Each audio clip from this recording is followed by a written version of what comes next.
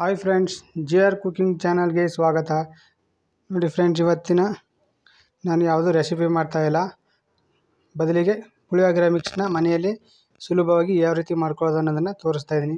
ನನ್ನ ವೈಫ್ಗೆ ಅನಾರೋಗ್ಯದ ಕಾರಣ ಇವತ್ತು ನಾನು ಇದನ್ನು ಮಾಡಿ ತೋರಿಸ್ತಾ ಇದ್ದೀನಿ.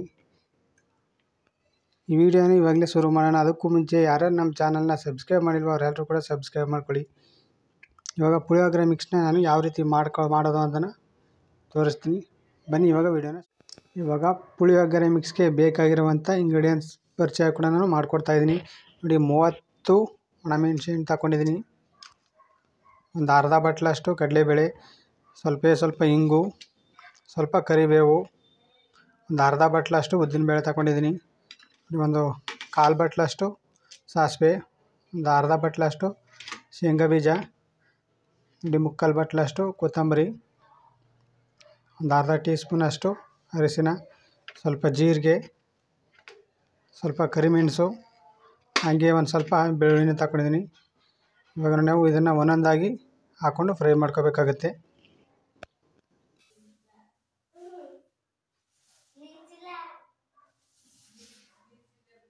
ನಾನು ಸ್ಟವ್ನ ಆನ್ ಮಾಡಿಕೊಂಡು ಒಂದು ಕುಕ್ಕರ್ನ ಇಟ್ಕೊಂಡಿದ್ದೀನಿ. ಇವಾಗ ನೋಡಿ ಇದಕ್ಕಿಂತ ಮೊದಲಿಗೆ ಮೆಣಸಿನ ತಳನ ಹಾಕ್ಕೊಂಡು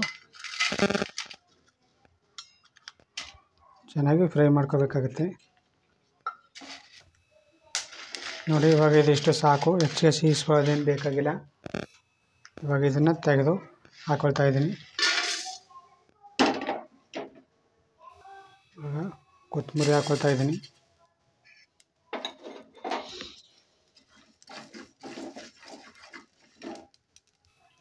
ಇವಾಗ ನೋಡಿ ಇದು ಕೂಡ ಫ್ರೈ ಆಗಿದೆ, ಇದನ್ನು ಕೂಡ ತೆಗೆದು ಹಾಕ್ಕೊಳ್ತಾ ಇದ್ದೀನಿ. ಇವಾಗ ಇದಕ್ಕೆ ನಾನು ಕಡಲೆಬೇಳೆನ ಹಾಕ್ಕೊಳ್ತಾ ಇದ್ದೀನಿ. ಯಾಕಂದರೆ ಒಂದೊಂದಕ್ಕೆ ಒಂದೊಂದು ಥರ ಉರಿ, ಉರಿಬೇಕಾಗುತ್ತೆ. ಅದರಿಂದ ನಾನು ಸಪ್ ಸಪ್ರೇಟಾಗಿ ಹುರ್ಕೊಳ್ತಾ ಇದ್ದೀನಿ. ಒಟ್ಟಾಗಿ ಹಾಕಿದಾಗ ಏನಾಗುತ್ತೆ, ಒಂದು ಫ್ರೈ ಆಗುತ್ತೆ, ಒಂದು ಆಗೋದಿಲ್ಲ. ಇದನ್ನು ಕೂಡ ಹಾಕ್ಕೊಳ್ತಾ ಇದ್ದೀನಿ ತೆಗೆದು. ಇವಾಗ ಇದಕ್ಕೆ ನಾವು ಸಾಸಿವೆನ ಹಾಕ್ಕೊಳ್ತಾ ಇದ್ದೀನಿ. ಸಾಸಿವೆ ಚಿಟಪಟ ಅಂತಿದ್ದಾಗೆ ಒಂದು ಸ್ವಲ್ಪ ಹೊತ್ತಲ್ಲೇ ಆಗುತ್ತೆ ಇದು. ಜಾಸ್ತಿ ಟೈಮ್ ಏನು ತಗೊಳ್ಳೋದಿಲ್ಲ ಇವಾಗ ಉದ್ದಿನ ಬೆಳೆಯನ್ನು ಹಾಕೊಳ್ತಾ ಇದ್ದೀನಿ.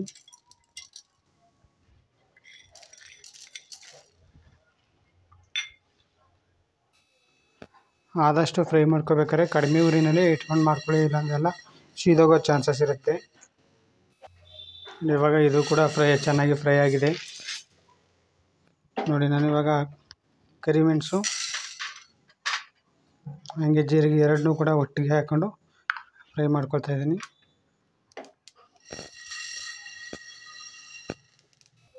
ನೋಡಿ, ಇವಾಗ ಇದು ಕೂಡ ಚೆನ್ನಾಗಿ ಫ್ರೈ ಮಾಡ್ಕೊಂಡಿದ್ದೀನಿ. ಇದನ್ನು ಕೂಡ ತೆಗೆದಿಟ್ಕೊಳ್ತಾ ಇದ್ದೀನಿ.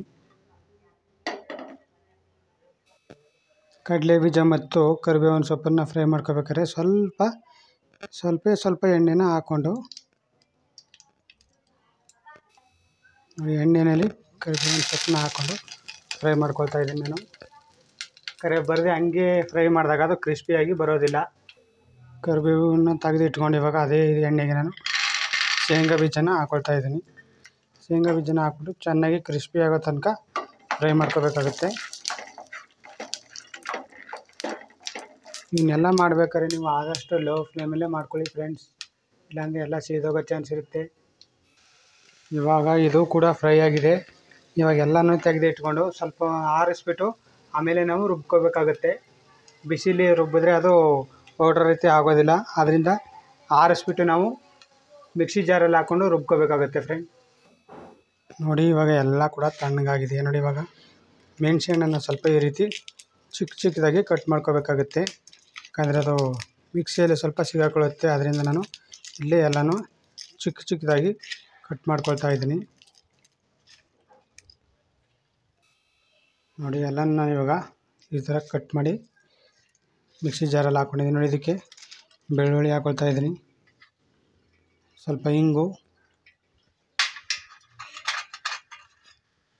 ಹಾಗೆ ಅರಿಶಿಣ, ಹಾಗೆ ಹುರಿದಿಟ್ಕೊಂಡಿದ್ದಂಥ ಶೇಂಗಾ ಬೀಜನೂ ಕೂಡ ಇವಾಗ ಇಲ್ಲಿಗೆ ಸೇರಿಸ್ಕೊಳ್ತಾ ಇದ್ದೀನಿ ನಾನು. ಹಾಗೆ ಕರಿಬೇವು.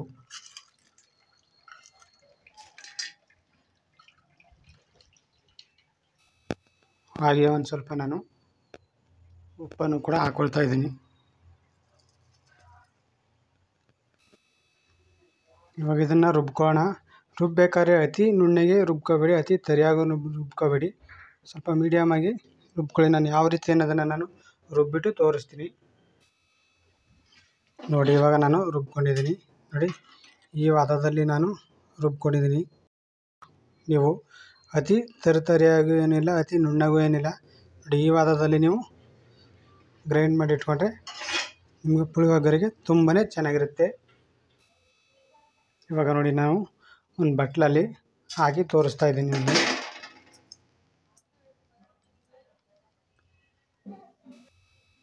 ನೋಡಿದ್ರಲ್ಲ ಫ್ರೆಂಡ್ಸ್ ಮನೆಯಲ್ಲೇ ಪುಳಿಯೋಗರೆ ಮಿಕ್ಸ್ನ ಯಾವ ರೀತಿ ಮಾಡ್ಕೊಳ್ಳೋದು ಅಂದ್ಬಿಟ್ಟು ಈ ವಿಡಿಯೋ ನಿಮಗೆ ಇಷ್ಟ ಆಗಿದೆ ಅಂತ ತಿಳ್ಕೊಂಡಿದ್ದೀನಿ.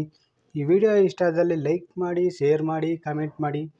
ಹಾಗೆ ಯಾರ್ಯಾರು ನಮ್ಮ ಚಾನಲ್ನ ಇನ್ನೂ ಸಬ್ಸ್ಕ್ರೈಬ್ ಮಾಡದೆ ವಿಡಿಯೋ ನೋಡ್ತಾ ಇದ್ದಾರೆ ಅವರೆಲ್ಲರೂ ಕೂಡ ಸಬ್ಸ್ಕ್ರೈಬ್ ಆಗಿ, ಹಾಗೆ ಪಕ್ಕದಲ್ಲಿ ಕಾಣುವ ಬೆಲ್ ಐಕನ್ ಕೂಡ ಪ್ರೆಸ್ ಮಾಡಿ. ವಿಡಿಯೋ ನೋಡಿದ್ದಕ್ಕೆ ಧನ್ಯವಾದಗಳು.